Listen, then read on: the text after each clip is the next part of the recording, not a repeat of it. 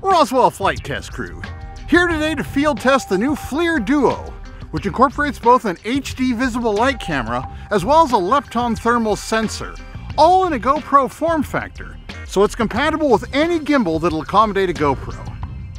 It also works like a GoPro. Just press the button on the top to start and stop recording, and the button on the side turns Bluetooth on and off. The status lights on the front indicate whether it's powered on, recording, and the status of the Bluetooth. Using Bluetooth, you can connect with the FLIR SUAS app, which is available for both Android and iOS devices. And there are three basic adjustments available. First, you have three color palettes to choose from, starting with the familiar white hot.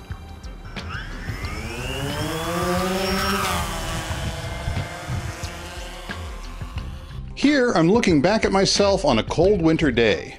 I'm the warmest thing in the frame, especially my bare head, so it's rendered in white.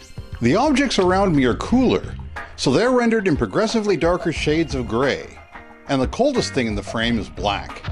Here, you see the same scene rendered in a palette called Hot Metal, which resembles the Iron Bow palette on other FLIR cameras. This is Rainbow, the third available palette. Using so many different colors makes it easy to see temperature variations, but can also make it harder to recognize familiar shapes, like people and buildings. You can also use the app to specify which video stream you see in the live video feed. You can choose to look at the thermal image full screen, which is what we've been doing so far. You can also make the visible light image full screen, but at that point, you're basically flying regular FPV. Your third option is picture-in-picture, which superimposes the thermal image in the corner of the visible light image, allowing you to see both simultaneously. Regardless of which display option you choose, both feeds are recorded on board using a micro SD card. Finally, you can enable MSX. MSX combines data from the visible light camera and the thermal sensor to create a hybrid image, like the one you see here. The Duo runs an edge detection algorithm on the visible light image and then superimposes those edges onto the thermal image. It's supposed to make it easier to identify shapes in the thermal image, but because of the parallax between the two cameras, the two images don't always line up perfectly.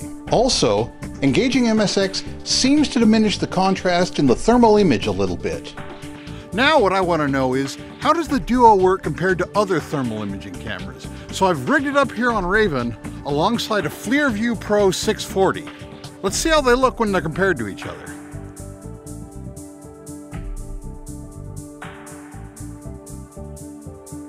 Looking at the two side by side, the difference is immediately apparent. It's important to recognize that the Duo is not a replacement for the Vue. The Lepton inside the Duo is a low-resolution sensor at just 160 by 120 pixels, compared to 640 by 512 on the Vue. Consequently, the Duo is never going to be great at identifying individual point sources, like a missing person during a search and rescue mission.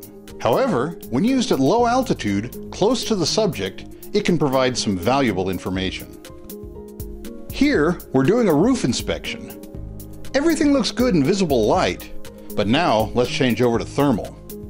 Right away, we can see where heat is being lost through the roof. So let's have a look at the new FLIR Duo. It's not a universal thermal imaging solution for drones, but provided you understand its limitations and select an appropriate mission profile, it can be a useful tool.